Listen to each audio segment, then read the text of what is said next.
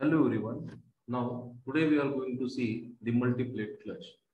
So clutch is basically it is the mechanical device which is used to connect the output shaft of engine to the input part of the transmission system. Means this clutch it is been placed in between the uh, powerhouse and the transmission system.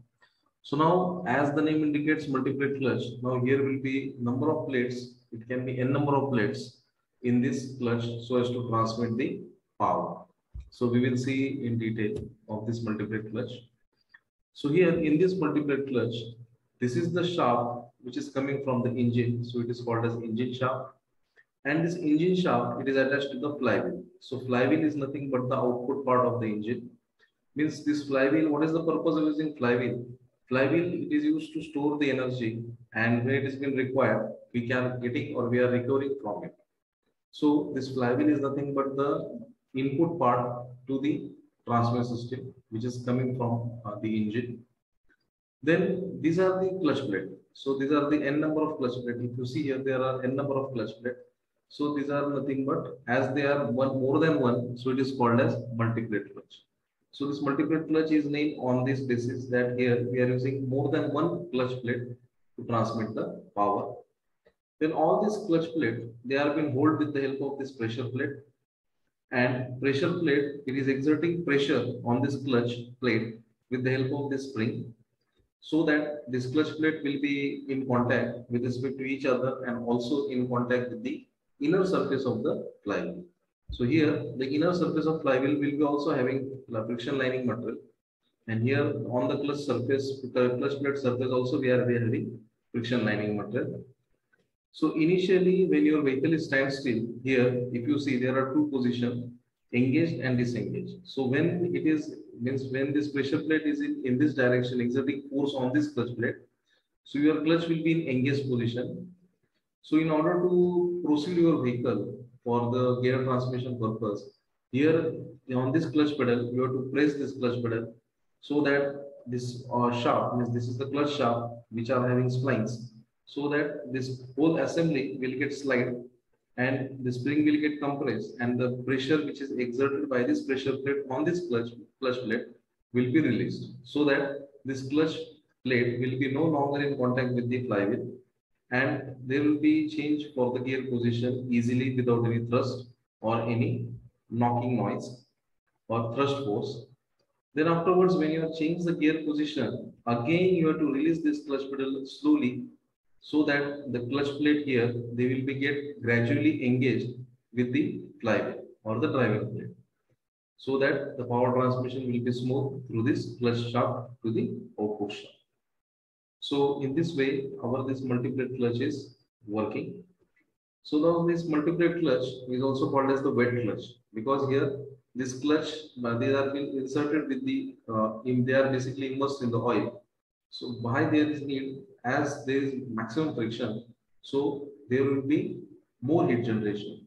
And in order to dissipate that heat, we have to use that uh, oil. So this multiplate clutch is in the, immersed in the oil. And as compared to single plate clutch, in that the area of the single plate clutch is maximum as compared to this multiplate clutch. So they have been exposed to the atmosphere. So in the single plate clutch, whatever the heat it is being generated, it is going to the atmosphere. So there is no any need of providing some oil or any other coolant. So single plate clutch is called as dry clutch and here multi-plate clutch is called as wet clutch. So now we will see the animation part. Multi-plate clutch. Adding plates to a clutch unit to form a multi-plate clutch will increase its torque capacity without increasing spring strength or clutch diameter. This clutch assembly has three clutch plates with friction material riveted to both sides of each. An internally splined hub on each clutch plate mates with the splines on the clutch shaft.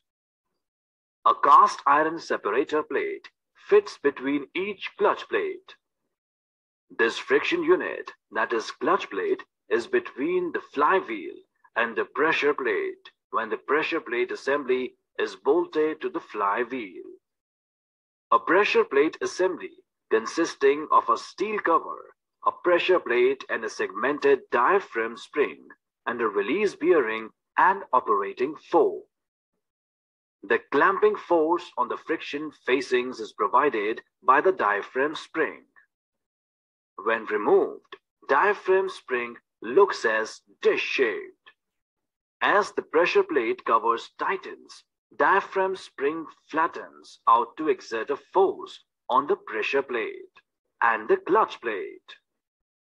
Now, as we can see, clutch plate is engaged with the flywheel and torque is transmitted from the flywheel through the friction facings, that is clutch plates, to the transmission input shaft, that is clutch shaft.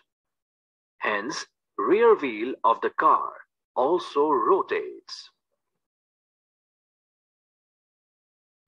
When the clutch pedal is pressed, the release bearing acts on the pressure plate diaphragm and moves the pressure plate away from the flywheel. This releases the clamping force on the facings and separator plate and allows flywheel to rotate freely without turning the clutch shaft. Now, the clutch plate disengages with the flywheel and drive is no longer transmitted. When the pedal is released, the spring tension forces the pressure plate, clutch plates, and separator plates against the flywheel, clamping all components together. Thank you.